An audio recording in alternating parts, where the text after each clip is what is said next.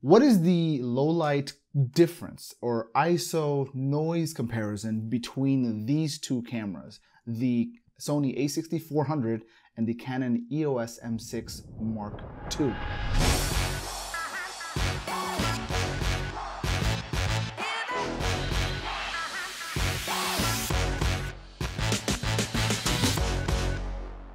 Hey guys, welcome. My name is Belal Khan, marketing by profession, media by passion. Coming at you from Dallas, Texas. I'm here on a work trip from Houston. I'm borrowing my friend's Sony a6400 uh, and I want to compare it to my Canon M6 Mark II. Uh, really the thing that I'm curious about is understanding and knowing uh, the differences in ISO performance. I know the Canon M6 Mark II has a 1.6x crop in relation to a full frame camera that um, you know that big cameras have. The thing is, there's a difference between both of these cameras. Um, 1.6x crop, 1.5x crop. The sensor and the video on this camera is actually taking a 6K image. It's a 6K sensor, it's taking a 6K image and is downsampling it to 4K essentially. Whereas on this camera, it's really taking like maybe a 3K image and it's upresing it or upsampling it, if that's the actual term, to a 4K image. So there's gonna be a difference in, uh, in, in, image. So what I wanna do, I want, I wanna see, does that really make a difference, especially when it comes to making content for online. Uh, first, I'm gonna start off with the Canon M6 Mark II, and then we're gonna go on to the a6400. Um, and then what I'll do is I'll, I'll, play them back side to side. And so um, what I'm gonna do is I'm gonna mount the Sigma 18 to 35. I have a Metabones uh, E mount uh, to, or EF mount to E mount adapter. And for the Canon, I have a, a clean uh, pass-through um, oh, just a basic uh, Fotodiox uh, EF to EFM uh, adapter. Um, both of them have electronic components, so the data kind of passes through. Uh, what's interesting is that the Metabones doesn't allow for continuous autofocus on the A6400, although a Sigma MC11 probably would. So, but this is not the scope of that video. So let's go ahead and do that. What I'm gonna do is I'm just gonna cycle through the different ISOs all the way to the max value just to maintain the ISO or to see that the noise levels. I'm gonna make adjustments on the lens itself. So I might just keep turning up the, uh, um, opening up or closing up the aperture while the ISO goes on because I'm gonna try to simulate the kind of settings and situation that we're in. So let's get on with the show. Right now I am on the Canon EOS M6 Mark II. Uh, right now what I've done is kind of lit myself to expose for the lighting in the background. Um, my face is generally going to be really, really dark. And if I were in a situation where um, uh, I'm, I'm, lit like this and I want to expose for the highlights and whatnot, this is what it would look like. And then what I would do is I would raise the shadows in the edit.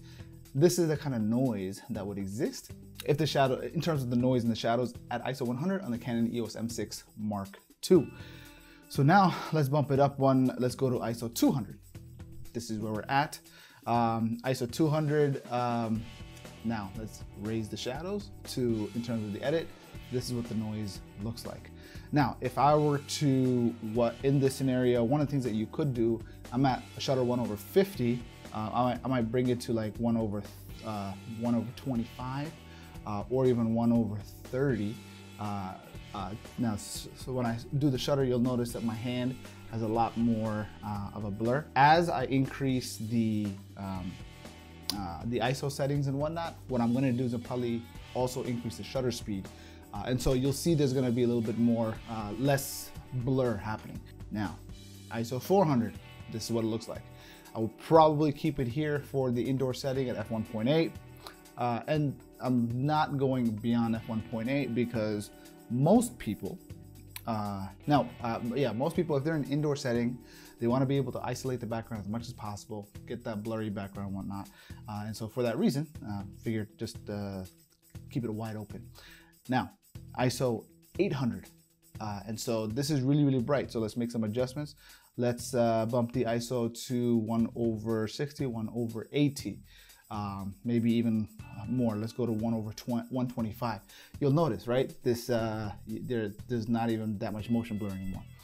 Uh, so let's go back to now we're ISO uh, 800, raising the shadows. Um, now, ISO 1600. Now I know on the Canon EOS M6 Mark II, um, I could probably go to 1600, 3200, and it'll still be pretty good. I'm gonna also adjust the shutter speed accordingly. Now I'm at one over 250, and you'll notice the lights in the background uh, start flickering. Um, so let me just, uh, uh, it doesn't matter if I turn this thing or not, it, it's gonna flicker anyway. Uh, so now let's go to ISO, oh yeah, so raise the shadows. This is what it looks like. ISO 3200, boom. And now uh, bump the shutter speed again. Let's go to one over uh, 500, boom. Like super, we're like looking like uh, we're in the uh, arena of a gladiator in terms of the super high shutter speed. I just need uh, uh, Maximus and shield and all that. And I'll be looking like I'm fighting in the arena. And so we have now ISO 6400 and um, uh, this is now also shutter speed 1 over 1000. Boom, right? Now we go to, oh yeah, raising the shadows in terms of noise levels. Uh, now we go to ISO 1200, I mean 12,800, 12,800 on the EOS M6 Mark II. And uh, and if you're wondering, I'm just using the uh, I'm just using the app uh, to control. Uh, and so now uh, let's bump up the shutter speed again. One out one over two thousand. How's the how's the movement? Am I, am I looking like super jittery? um, and now for the last bit, which is now enhanced uh, we're at 25,600. I think this is the max of extended ISO on the M6 Mark II. And let's also bump this up in terms of ISO one out, one over 4,000. This is gonna be super, um, right? Just as a quick tip, if you wanted to keep your um, uh, shutter speed down, so if I were to bring this all the way down to like say one over 60 or even one over 50, well, everything is blown out. And so this is why you would close down the uh, uh, close down the uh, aperture. Now we're at uh, f11 and f16, and you'll notice everything is just like super sharp in the background. Um, and that's how this stuff functions. So again, it's it's a choice that you need to make when you're when you're dealing with a lot of light. Is you either if you turn your ISO down all the way, but you want to turn things, uh, but you still want to secure things, then you can adjust your aperture, which is your f-stop, what I call light friction or photonic friction. Um, the more photonic friction exists, the less of the blurry background um, exists. So there'll be more things in focus.